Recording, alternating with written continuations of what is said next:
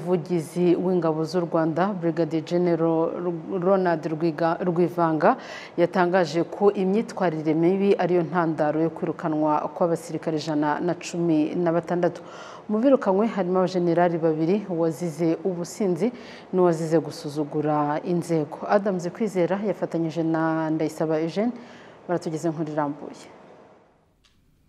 ibikorwa bitesha agaciro umwuga wa gisirikare ariko nanone ibi byemejwe n'umuvugizi w'ingabo z'u rwanda brigadier general ronald rwivanga. Aho yasobanuye ko muri abo basirikare harimo abajenerali babiri ari bo major general aloys muganga ndetse na brigadier general francis mutiganda. Major general aloys muganga yirukanwe kubera impamvu z'ubusinzi bukabije.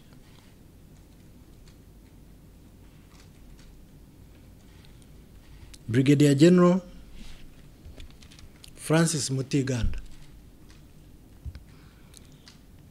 Yirukanwe kubera gusuzugura inzego za gisirikare.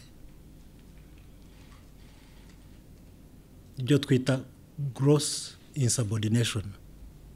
Ku itariki ya karindwi kamena bibiri na makumyabiri na gatatu ni bwo minisiteri y'ingabo yasohoye itangazo ry'umugaba w'ikirenga w'ingabo z'u rwanda ryirukana abasirikare ijana na cumi na batandatu mu ngabo z'igihugu ndetse ijana na cumi na babiri muri bo amasezerano yabo araseswa koroneri lambert sendegeya umuyobozi ushinzwe abakozi mu ngabo z'igihugu rdf asobanura byimbitse ku byerekeye iseswa ry'amasezerano kuri abo bandi amasezerano yabo yaseshwe.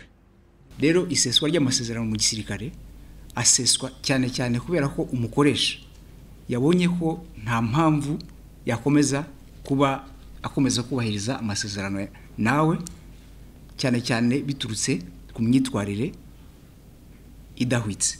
Ni uvuga ngo mu bigenga umwuga wa gisirikare nk'uko twavuze ko ari umwuga wihariye iyo umuntu hari ibyo atujuje ashobora gukurwa mu gisirikare n'ubuyobozi bw'ingabo.